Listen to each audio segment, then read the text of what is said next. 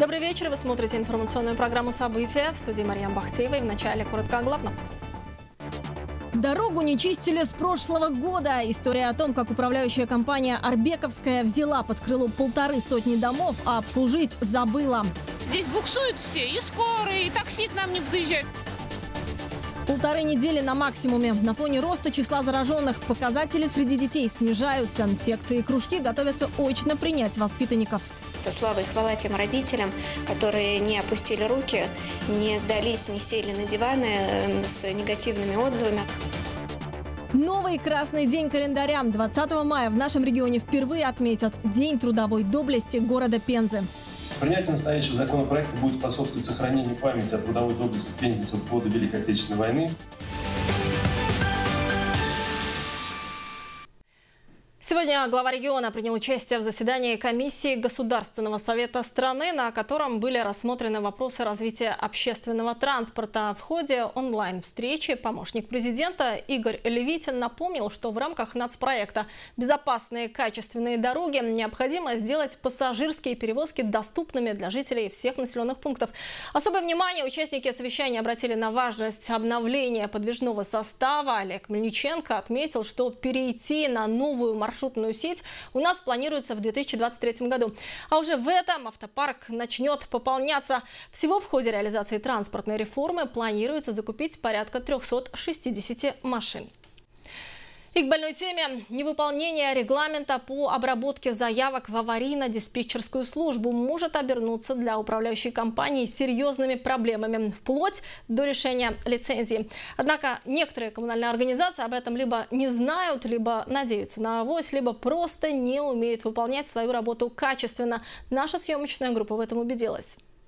На улице Лядова настоящий праздник. К 62-му дому наконец-то приехал обещанный управляющей компанией трактор. Дорогу возле подъездов здесь не чистили с конца прошлого года. Здесь буксуют все, и скорые, и такси к нам не заезжают. Они он подъезжает туда и говорят, выходите, потому что мы в ваш двор ехать боимся. Счастье, что он приехал наконец-то. Дорогу, конечно, расчистили, но попутно завалили снегом детскую площадку. Единственное место для прогулки возле дома. Вчера только вечером здесь со взрослыми.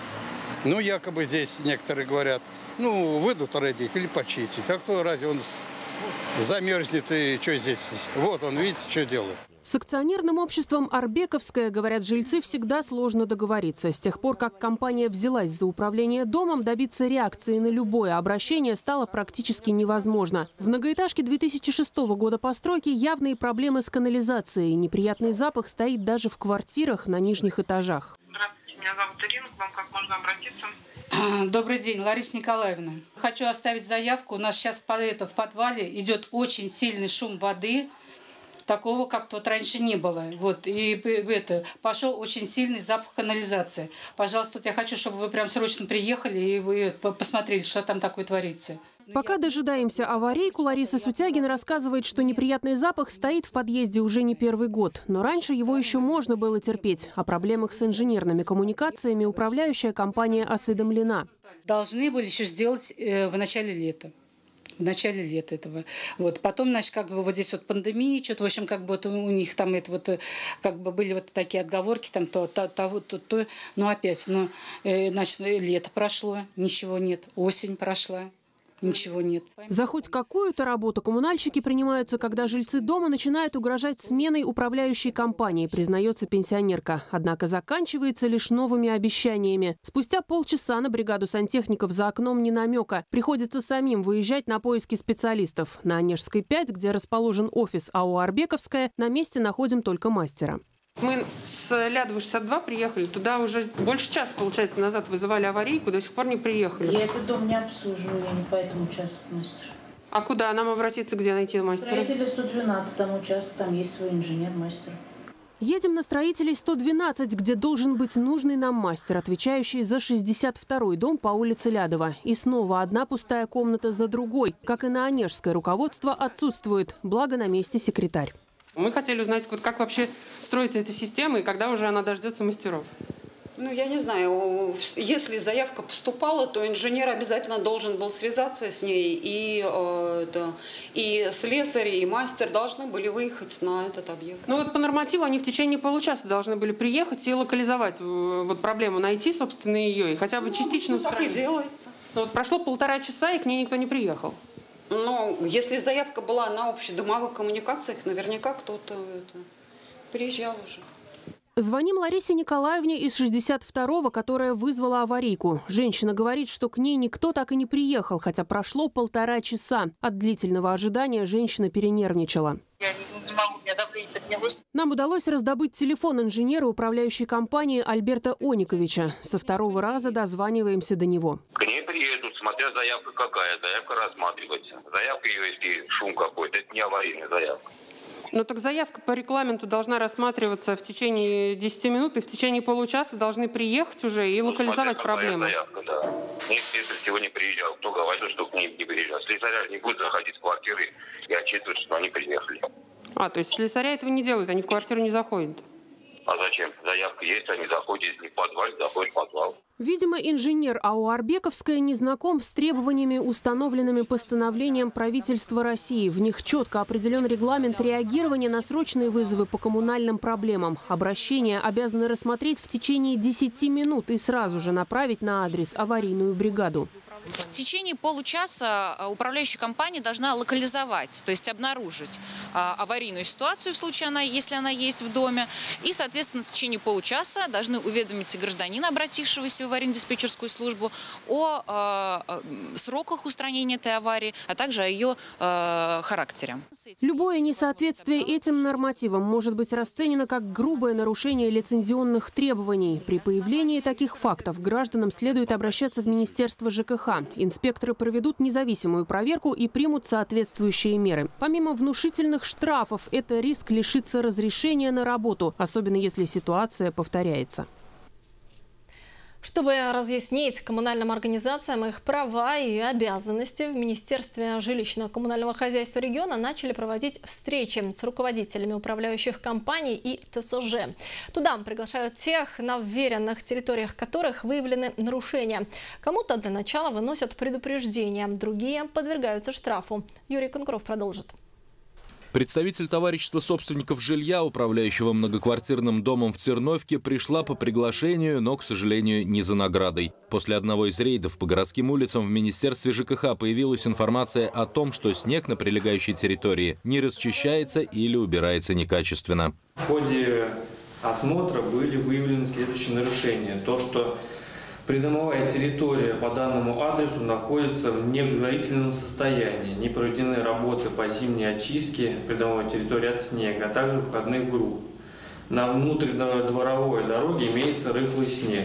В свое оправдание Валентина Михайловна Федина поясняет, что за 8 лет ее председательство не получило ни одного нарекания. Да и в те дни, когда было допущено нарушение, она, как руководитель, изо всех сил старалась на благо своих жильцов в поисках снегоуборочной техники. Я звонила по, какие у меня есть адреса, вот, и на, на тот момент, на второе, не было машин. Не было машин. 4 числа мы, я, можно сказать, вот увидела трактор, подняла, нам прочистили.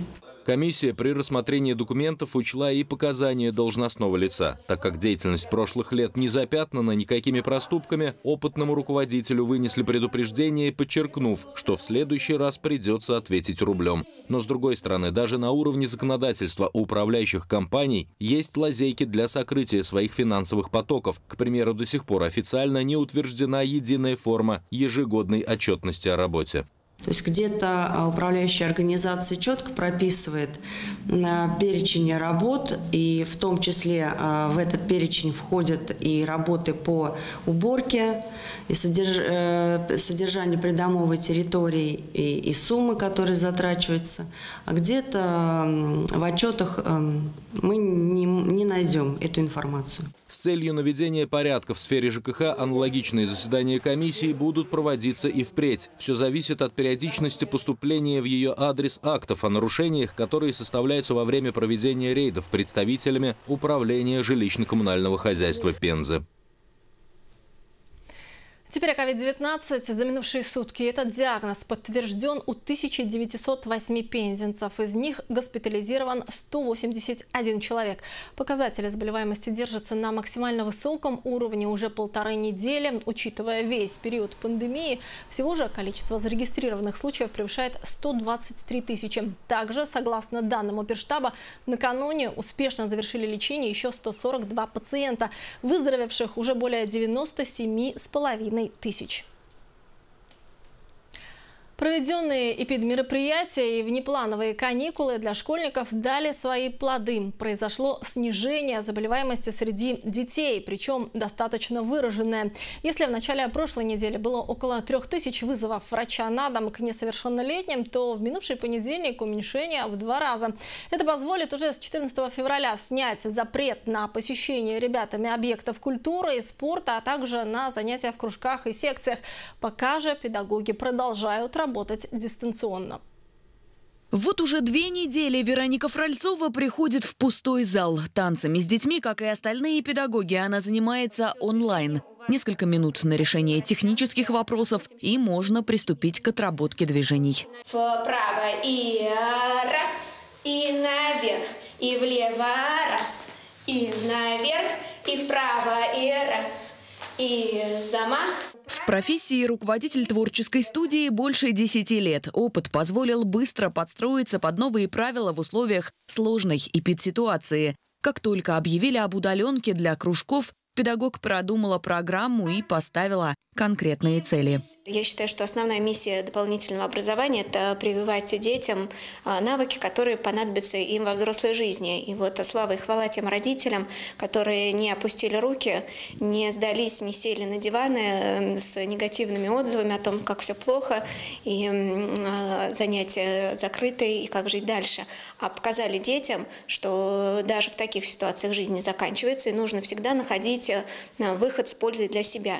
Если в первую волну коронавируса коллективу пришлось отложить все поездки за пределы региона, то на этот раз танцоры побывали на международном конкурсе в гостях у сказки. Из Великого Устюга привезли награды. Подготовку к творческим состязаниям пришлось проводить как раз в дистанционном формате. Несмотря на то, что работа в студии не прекращается, все же нельзя не сказать о сложностях. Я не чувствую такой отдачи, которую я чувствую в зале.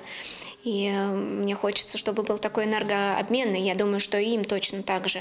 А, Все равно, когда они занимаются в зале, создается такая рабочая атмосфера, и рабочая, и творческая. И мы очень много работаем в сотворчестве с детьми. И здесь прям воздух пропитан, конечно, такой атмосферой. Через экран я не чувствую. И прям хочется мне вот эту вот атмосферу все-таки создать. Но уже с грядущего понедельника в танцевальном зале закипит коллективная работа. Дополнительное образование возвращается в привычный режим. Возобновятся занятия во всех творческих кружках и спортивных секциях, деятельность которых пришлось вынужденно приостановить в конце января из-за высокой заболеваемости детей. А 20 мая в нашем регионе впервые отметят День трудовой доблести города Пензы. Праздник станет ежегодным. Его приурочили к дате подписания указа президента Владимира Путина о присвоении областному центру почетного звания. Инициативу депутаты регионального парламента единогласно поддержали в ходе 48-й сессии. Она, кстати, из-за сложившейся ситуации по коронавирусу проходила в дистанционном формате. Чуть больше, чем через три месяца парк «40 лет Победы» в Арбекове станет центром празднования новой памятной даты области. Возле стелы Пенза, город трудовой доблести, открытый здесь в конце декабря, 20 мая планируют проводить торжественные мероприятия, посвященные ветеранам-труженикам тыла. Законопроект на сессии регионального парламента депутаты приняли единогласно. Принятие настоящего законопроекта будет способствовать сохранению памяти о трудовой доблести пензенцев в годы Великой Отечественной войны, дальнейшему развитию системы патриотического воспитания граждан и формированию уважительного отношения к истории города. Также в ходе сессии регионального парламента с докладом о результатах работы органов внутренних дел в 2021 году выступил главный полицейский области Павел Гаврилин. Сообщил, что по многим направлениям отмечается снижение уровня преступности. В структуре преступности отмечается сокращение тяжких и особо тяжких составов преступлений против личности, грабежи. Раскрываемость преступлений возросла и составила 62% и превышает средний показатель как по округу, так и по стране. А наиболее опасных видов против личности 96%. Лучшие показатели по снижению уровня преступности в общественных местах отмечаются в Сосновоборском, Лопатинском, Бековском, Белинском и Камешкирском районах. Также из незаконного оборота изъято более 100 килограммов наркотических средств. Это в полтора раза больше, чем в 2020 году. Пензенская область вошла в число пилотных регионов, где в ближайшее время будет реализован проект «Система долговременного ухода за пожилыми и инвалидами». Главная цель – обеспечить людям, нуждающимся в заботе, сбалансированное социальное обслуживание и медицинскую помощь как на дому, так и в стационаре. Мы пока отбираем там самых тяжелых больных, которым нужна помощь на дому. Планируется, что э, типизаторы, которые у нас прошли уже обучение, будут выявлять там три категории граждан, первый, второй, третий, и в дальнейшем предоставлять услуги бесплатные, э, в зависимости от той группы, э, от той степени необходимости этих услуг максимально это значит 28 часов в неделю предоставления бесплатных и там 21 час и соответственно 14 часов. Участие в проекте пока примут четыре района – Макшанский, Бессоновский, Никольский и Шимышейский. Там будут открыты пункты проката технического оборудования, заработает школа родственного ухода. Подробнее об этом и не только узнаете из программы «Кабинет министров». Она выйдет в эфир нашего канала в 19.15. Сейчас короткая реклама, а затем вернемся.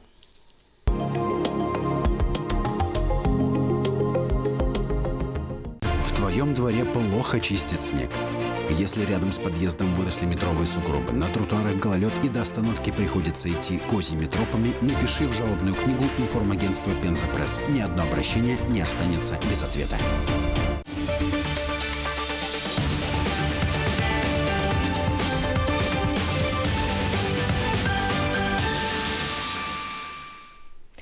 Окружной фестиваль «Театральное Приволжье» в самом разгаре. Это не только конкурс, его главная цель – вовлечение молодежи в среду, расширение ее культурного кругозора, формирование нравственных ценностей.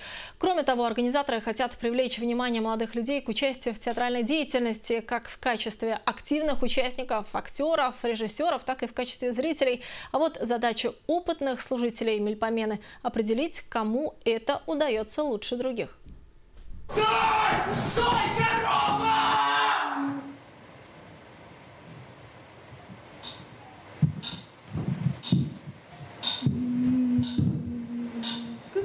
Спектакль «Корова» молодежной труппы из Перми среди фаворитов пензенского жюри. Фестиваль любительских коллективов «Театральное Приволжье» вышел на этап профессиональной оценки работ. Состав экспертов в каждом регионе свой. Постановку оценивают по десятибальной шкале. Споры в жюри разворачиваются как драматический сюжет. Давайте немного остановимся и все взвесим. Ну, Саратов, Саратов э, чисто, чисто художественно считают. Да, чисто художественно выше. Претендентов на победу в каждой номинации традиционно 14. Оценивать приходится сразу два потока спектаклей – детских коллективов и молодежных. А значит, проанализировать нужно не только режиссерскую задумку, игру актеров, сценографию и драматургию, но и совсем неочевидные вещи – работу педагога. Уровень вырос. Э, относиться начали очень серьезно все, э, начиная с коллективов и заканчивая э, властью, да, и Министерство культуры в каждом регионе поддерживает. Это видно, потому что ребятам дают хорошие площадки, качество костюмов выросло, там освещение звука, то есть качество спектаклей полностью выросло. Нашу область на театральном Приволжье в этом году представляет детский коллектив «Альт» из Кузнецка и студенческая труппа «Кириллица» ПГУ. Вот только оценивать их будут эксперты из других регионов. За своих пензенское жюри голосовать не может. В области будут активно развивать КВН. В регионе станет действовать трехуровневая система движения. Юниор, Лига, Лига профессионалов и основная ЦУРА. Привлекут все образовательные учреждения. Организационная работа должна завершиться до 1 марта. Кроме того, на федеральном уровне с этого года начнут выделять грантовые средства на поддержку клубов веселых и находчивых на местах. КВН будет включен в воспитательную компоненту, студенты будут получать баллы за участие в играх КВН, свой рейтинг, соответственно, они могут рассчитывать на поддержку в плане стипендий. Сейчас рассматривается вопрос о том, что приравнять участие в телевизионных лигах КВН среди школьников к участию во всероссийских олимпиадах. Соответственно, если это решение будет принято на федеральном уровне, то, соответственно, школьники будут получать дополнительные баллы э, при поступлении в вузы. Подробнее о том, сколько человек сейчас задействовано в движении КВН, как воспитывают будущих шоуменов и на каких площадках могут выступать сурские юмористы, узнаете из программы «Экспресс-тема». Она выйдет в эфир сразу после этого выпуска новостей. А в Пензенском государственном университете собрались самые быстрые, ловкие и сильные учащиеся региона. Там прошел региональный этап Всероссийской олимпиады школьников по физической культуре. Но хорошей атлетической формы для победы недостаточно. Участникам нужно обладать и теоретическими знаниями. К соревновательной борьбе каждый из них привык с самых юных лет. Все участники регионального этапа Всероссийской Олимпиады школьников по физкультуре – действующие спортсмены, а потому они готовы к предстоящим испытаниям. Многие здесь уже не в первый раз, есть и прошлогодние победители. Для подготовки к Олимпиаде я э, регулярно занималась гимнастикой. Вообще я 10 лет занималась гимнастикой, поэтому для практики я надеюсь, то, что мне не составит труда хорошо выступить. Для участия в Олимпиаде заявились 50 человек со всего региона. Их ждали два конкурсных этапа – практический и теоретический. Именно последний ребята называют более сложным. Приходится много читать про Олимпийские игры, про виды спорта узнавать. Вот. А в практической части, в принципе, ну, все получается. Ну, конечно, есть недоработки, но дорабатываем постоянно. Когда-то даже и пропускал практическую часть, и говорили, лучше давай теорию, учишь. Практическая часть Олимпиады включала в себя два задания. Первое – это гимнастический комплекс, в рамках которого ребятам нужно было выполнить различные стойки, кувырки и другие элементы. Второй этап – спортивные игры, куда, к примеру, включили футбол и баскетбол.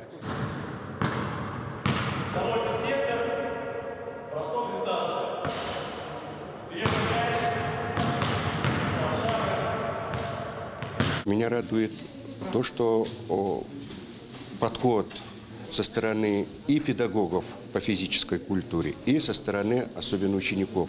То есть а, вот эта жажда победы.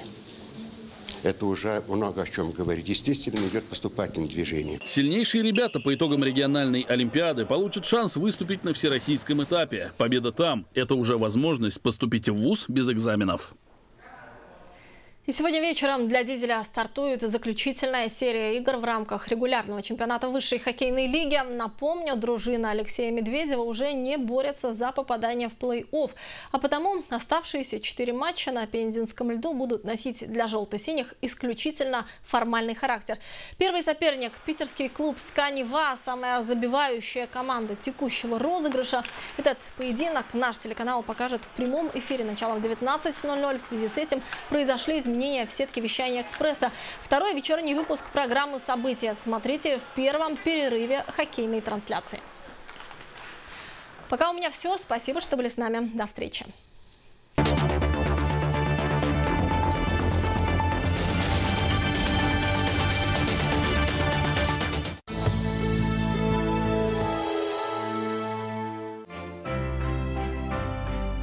Завтра на западе Пензенской области облачная с прояснениями погода. Преимущественно без осадков. Ветер западный 3-4 метра в секунду. Температура воздуха ночью минус 3, днем 2 градуса мороза. В восточных районах Пензенской области облачная погода. Ночью ожидается сильный снегопад, днем без осадков. Ветер западный, северо-западный 3-4 метра в секунду. Температура воздуха ночью 2-3 градуса мороза, днем около минус 2. Ожидается облачная погода. Ночью снегопад, днем без осадков. Ветер западный 3-4 метра в секунду. Температура воздуха ночью от минус 4 до минус 2. Днем 2 градуса со знаком минус. Атмосферное давление составит 747 миллиметров ртутного столба.